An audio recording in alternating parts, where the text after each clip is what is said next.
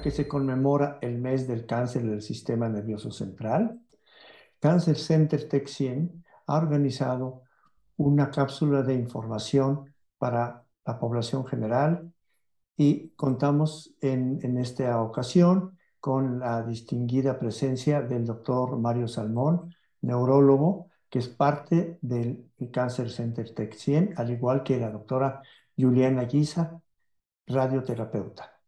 Podemos decir que existen una gran cantidad de tumores del sistema nervioso central, originados muchos por variaciones y alteraciones o conocidas mutaciones de múltiples genes. Su detección, diagnóstico y, y, tratamiento son de alta especialidad y para ello le pedimos a, al doctor Mario Salmón si nos hace favor de comentar cómo comienza este proceso, cómo los pacientes se dan cuenta, cómo acuden y cuál es el proceso eh, de diagnóstico, por favor. Claro, con mucho gusto. Muchas gracias por la invitación y feliz de participar con Cancer Center. Quisiera nada más hacer una pequeña eh, mención a que eh, Gildardo me dijo neurólogo, yo sé que lo hace sin ofensa, no tengo inconveniente, pero mi formación es como neurocirujano. Eh, es muy importante lo que ha comentado y a propósito de festejar o, celebrar eh, el cáncer en general, y no por celebrarlo como enfermedad, sino celebrarlo a modo de hacer conciencia, de crear más conciencia. Hablando precisamente de cáncer del sistema nervioso central, podemos hablar de dos apartados muy importantes. Uno, el cáncer del sistema nervioso central a nivel cerebral y el otro es a nivel medular, porque la médula espinal se considera también como sistema nervioso central. De tal manera que hay tumores en el cráneo y hay tumores en la columna, directamente en la médula espinal, que afortunadamente son extremadamente raros, sin embargo existen.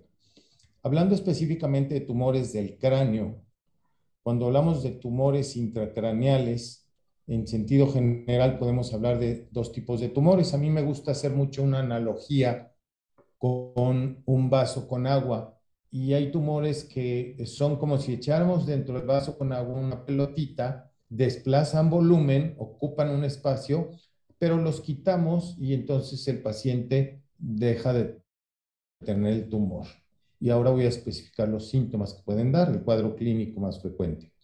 Y los otros tumores que parten directamente del tejido nervioso, que es como si tiráramos en el mismo vaso con agua una gota de tinta.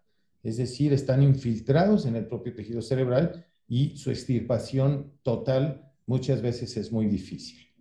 Bien, el cráneo es una cavidad rígida que la constituye precisamente hueso y que dentro de esta cavidad rígida se encuentran el tejido cerebral propiamente, la sangre y el líquido cefalorraquídeo.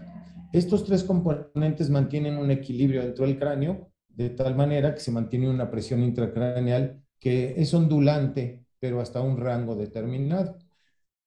Cuando existe un tumor y está creciendo y ocupa espacio, genera un aumento en la presión intracraneal, de tal manera que el paciente puede presentar dolor de cabeza que es uno de los síntomas cardinales en los tumores cerebrales. En ocasiones hay tumores que están en la base del cráneo y aunque no ocupen espacio, la irritación de las cubiertas del cerebro puede ocasionar dolores de cabeza. Es por lo cual yo siempre considero muy importante cuando hay dolores de cabeza no pedirle una receta a la comadre o a la vecina o a mi amiga o amigo, sino mejor acudir al especialista y saber que ese dolor de cabeza no es ocasionado por una masa intracraneal, que sería la cuestión más grave. Eh, otros de los síntomas que pueden dar los tumores dependen de la localización de los mismos. Si el tumor está, por ejemplo, en los lóbulos frontales, puede haber cambios en la conducta de la persona o en su personalidad. Si está en el lóbulo temporal, por ejemplo, puede haber fallas de memoria. Si es en el lado izquierdo del cerebro, puede alterar el lenguaje, la emisión del lenguaje o el entendimiento del mismo. Si está en los lóbulos occipitales, puede afectar la visión. Otros tumores, por ejemplo, los adenomas de hipófisis, cuando están, están en la silla turca por debajo de los nervios ópticos, estos, pueden, estos tumores al crecer mucho ocasionan compresión de los nervios ópticos y pueden dar problemas de visión. Yo siempre les digo a los oftalmólogos, si revisan a un paciente que no ve bien y los tomatitos de los ojos están perfectos, háganle una resonancia de cráneo, por favor, porque pueden tener un tumor cerebral y mejor ir a la segura. Si un paciente empieza con debilidad de la mitad ya sea derecha o izquierda del cuerpo, puede estar alojando una lesión en el área motora. Eh, otro de los síntomas que pueden deberse a problemas de tumores son los problemas de equilibrio. Tumores en el cerebelo ocasionan que el paciente tenga una cuestión que se llama dismetría, donde no calcula la distancia de los objetos y puede no atinarle, vamos a llamarlo así, a tomar un vaso o, cualquier otro objeto por esa dismetría, por esa falta de, medición de la distancia en el entorno. Otra cuestión en los tumores cerebelosos es que el paciente puede caminar como si estuviera borracho. El alcohol afecta las células de Purkinje del cerebelo y lo que ocasiona es que el paciente camine para un lado y para el otro, que aumente su base de sustentación, que no le atine a las cosas y que hable de manera arrastrada, le llamamos lenguaje farfullante. Y esas son manifestaciones de lesiones cerebelosas. Entonces, en resumen, yo podría decir que los tumores pueden dar síntomas por aumento de la presión intracraneal, por irritación de las cubiertas del cerebro, se llaman meninges, a veces en la base del cráneo, afectación de algunos nervios, que les llamamos pares craneales, y pueden provocar eh, anestesia o disminución de la sensibilidad en la cara de un lado o del otro, pueden provocar visión doble, pueden provocar alteración en la movilidad de la cara, alteración del equilibrio, en fin, según el nervio que esté lastimado. De ahí la importancia de acudir de manera temprana a una consulta neurológica cuando existan síntomas que sugieran como el dolor de cabeza, o irse de lado o falta de fuerza principalmente. Las convulsiones es otro apartado. En pacientes después de los 50 años, si debutan, es decir, por primera vez en su vida tienen una convulsión, siempre hay que sospechar la posibilidad de un tumor intracraneal. Eso en cuanto a los tumores intracraneales, creo la mayor parte de los síntomas. Principales síntomas, dolores de cabeza, presencia de convulsiones y presencia de alguna eh, disfunción, ya sea sensitiva, alteración de la sensibilidad, motora, falta de percepción de fuerza, o alteración en el equilibrio o el control fino de movimientos. Y en el caso de los tumores del sistema nervioso central a nivel medular, la alteración más eh, común, digamos, es eh, la falta de fuerza de extremidades en forma eh, global, digamos, brazos y piernas al mismo tiempo, de manera a lo mejor desproporcionada, pero las cuatro extremidades. Casi siempre las lesiones cerebrales focalizan a izquierda o derecha, y las lesiones medulares focalizan hacia piernas solamente o brazos y piernas principalmente. Y alteraciones sensitivas y de control de esfínteres. Es decir, el paciente puede estar orinando por rebosamiento porque hace una vejiga que retiene y cuando está demasiado llena empieza a orinar y el paciente se queja de dolor abdominal a lo mejor porque tiene una vejiga muy distendida y puede ser un síntoma inicial, algún trastorno en la micción. No sé, yo creo que con esto queda cubierto en gran medida los síntomas principales y las causas por las que debe uno acudir en forma temprana a una consulta neurológica. Nos queda muy claro. Eh, doctor Salmón, muchísimas gracias. Creo que eh, ha sido muy explícito, muy ilustrativo y que espero que las personas tomen en cuenta estos, estos signos y síntomas para acudir a una revisión y se llegue a un diagnóstico para que pueda ser atendido. Muchas gracias, doctor Salmón, y estaremos en comunicación. Ahora, eh, muchas gracias. Le pido a la doctora Juliana Guisa su participación en el área de radioterapia, una vez que ha sido un eh, tumor diagnosticado, eh, pasan a, a atención terapéutica y hay muchos avances al respecto que nos puede comentar. Doctora, por favor, adelante. Gracias.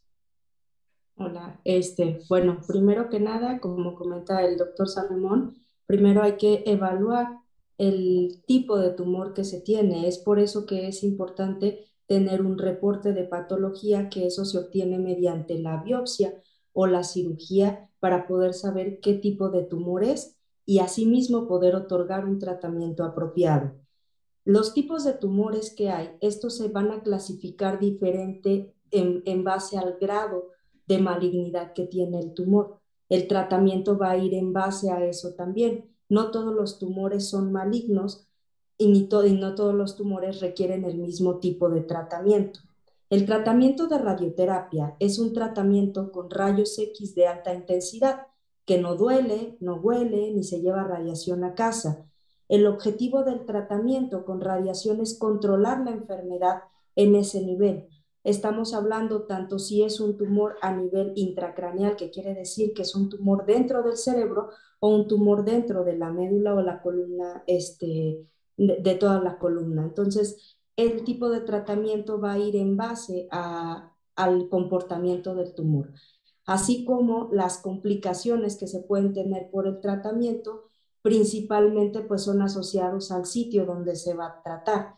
Si es un tumor este, que está localizado en la fosa posterior, que es a nivel del cerebelo, es un tumor que probablemente podamos tener un poquito más de sintomatología. ¿Qué tipo de síntomas se van a asociar más? Pues podemos tener un poquito más de dolor de cabeza, de náusea, alteraciones en la marcha, principalmente, y esto es por la inflamación que se genera asociada al tratamiento. Todos estos síntomas son transitorios durante tenemos el tratamiento y tenemos esas molestias.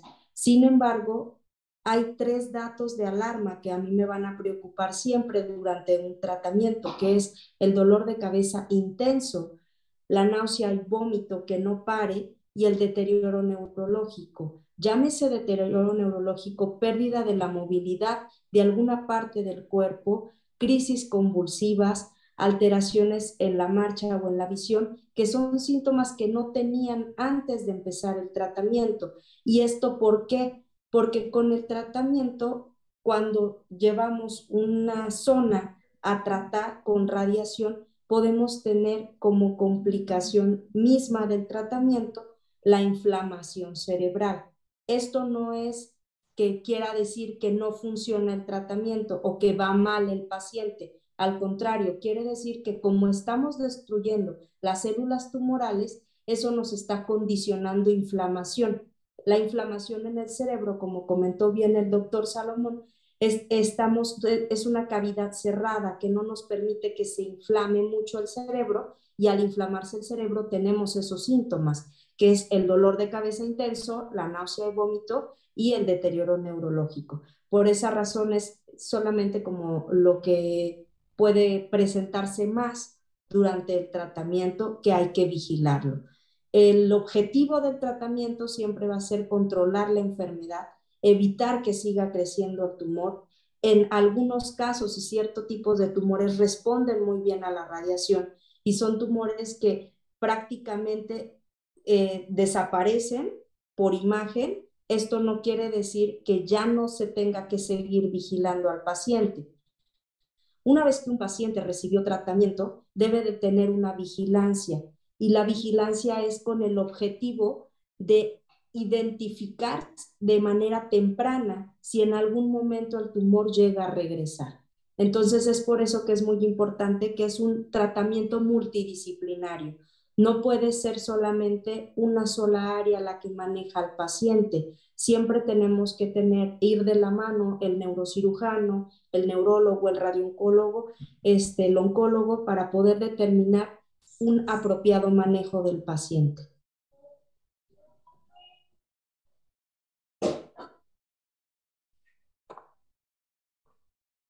Ah, nos, queda muy claro, doctora Lisa. Yo le preguntaría, eh, ¿qué experiencias ha tenido con los pacientes ellos qué refieren después de, las sesiones de radioterapia, eh, su evolución, si refieren una, una mejoría, sienten o, sienten que están eh, estancados o en retroceso. Y esa parte pues emocional de, de los pacientes, eh, me gustaría preguntarles su opinión. Es muy importante que tengamos todo el, el acompañamiento con el paciente porque es muy común que el paciente siente que empeora cuando empieza a tener dolor de cabeza o náusea o así. Y es lo que les comento, no quiere decir que va empeorando, al contrario, quiere decir que se está, o sea, se está destruyendo el tumor y de tal forma, de manera indirecta, genera inflamación cerebral. Entonces, esos síntomas son asociados al tratamiento, pero se les da manejo con esteroide o el manejo que requiera. ¿Para qué? Para ayudar a desinflamar el cerebro.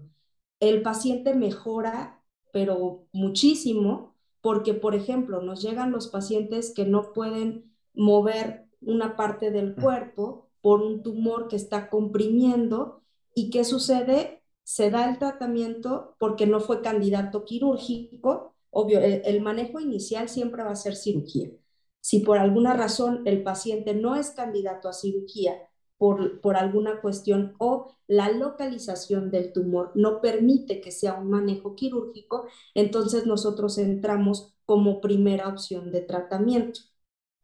Cuando se da el manejo con la radiación, ahí va a depender, como le comento, de la localización del tumor, la sintomatología que va a tener el paciente y qué tanto va a mejorar o qué tanto va, va a resentir durante el tratamiento.